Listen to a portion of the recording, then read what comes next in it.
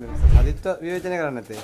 ඇත්තරම සජිත් ප්‍රේමදාසව විවේචනය කිරීම අවශ්‍යතාවයක් අපිට නැහැ. මොකද අපි විවේචනය කරන්න ඕනේ වැඩ කරන්න නැති මිනිස්සුන්. හැබැයි සජිත් ප්‍රේමදාස කියන්නේ විපක්ෂ ናයකයා විදිහට මේ රටට විශාල සේවාවක් පාසල් දරුවන්ට විශාල සේවාවක් කරපු කෙනෙක්. ඉතින් ඒ නිසා සජිත් ප්‍රේමදාස විවේචනය කිරීමේ උවමනාවක් අපිට ඇත්තරම නැහැ. මොකද ඔහු වැඩ කරන නායකයෙක් බවට අපිට පේනවා. සහාය දෙනවද නැහැ ඉදිරියේදී? නෑ අපි ඉන්න කඳුරේම තමයි අපි ඉන්නේ. ඉතින් ඔහු කරන හොඳ හොඳ හොඳ දේවල් කරන ඒ හොඳ දේවල් වලට අපි ඇත්තටම මේ අපේ හරි කමෙන්ට් එක අපි දෙනවා. ඔහුට මෙච්චර ගොඩක් එකතු වෙන්නේ ඔහු හොඳින්දද?